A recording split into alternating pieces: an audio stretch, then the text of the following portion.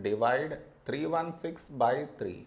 To do this division, we should frame it in this way. 316 here and 3 here. This is your step 1. Next. Here we have 3. Here also 3.